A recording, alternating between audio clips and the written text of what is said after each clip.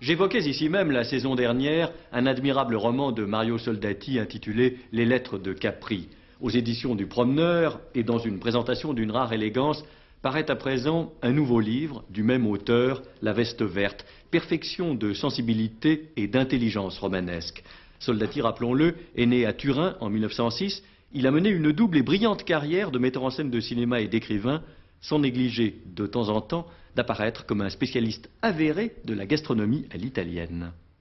La Veste Verte est un bref roman qui parut pour la première fois en 1949 dans la revue d'un autre maître de la littérature italienne d'aujourd'hui, Giorgio Bassani.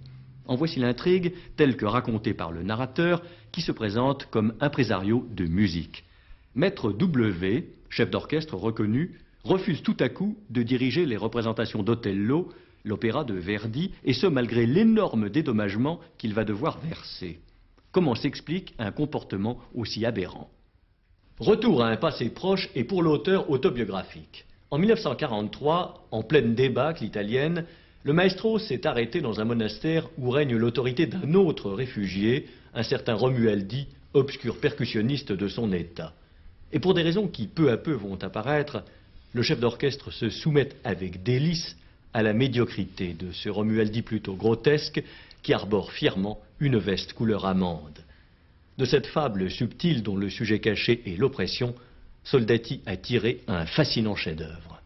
N'oubliez pas dans votre ville du 12 au 27 octobre le temps des livres.